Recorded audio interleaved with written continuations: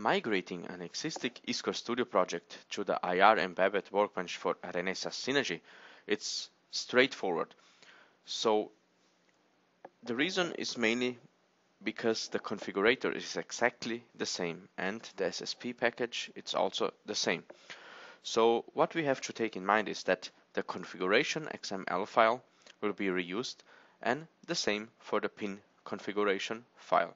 Additionally, we also Uh, need to make use here of the source folder. So all files that are customized files inside the source folder will be reused in the project. So what we have to do, we need to create a new project here inside the existing project folder. So this is really easy. So we only have to start here project, create new project, choose here the Renesas Synergy project option. And once it asks for a workspace, we need to make sure that we are, in this case, for example, uh, creating the new project inside the weather panel project folder. So from here, I can just define a name for the workspace.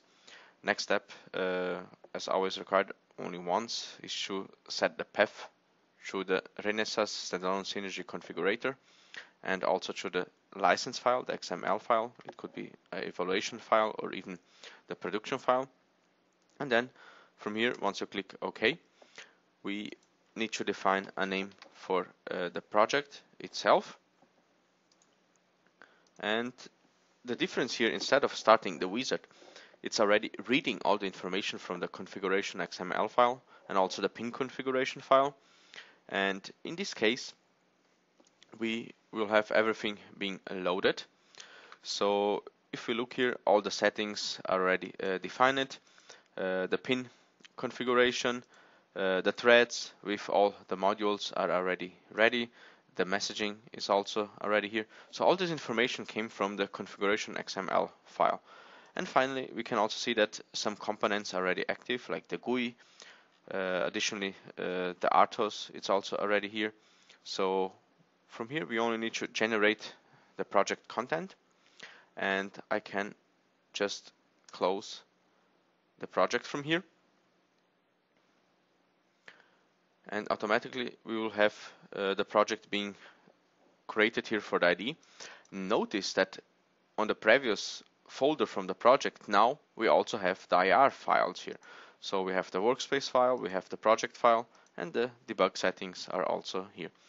So from here, since this is a weather panel and we are using some uh, files that have been generated uh, by the GUIX Studio, uh, we need uh, to open the GUIX Studio and create or generate the output files for IAR. So the easiest way to do this, it's mainly first here under the source folders, we can include that file. So project add add files.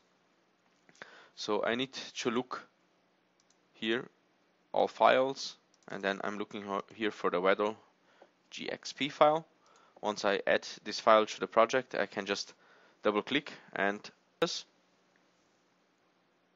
So from here, we need to come to configure project displays and we only need to change here the output to IAR, save it, generate all new output files for IAR. And then I can go back here to IAR. And next step is to build the project.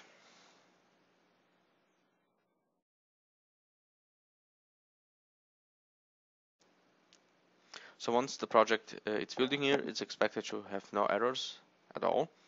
And finally, your migration was successful and you're ready to just run this application, the weather panel, on your target directly.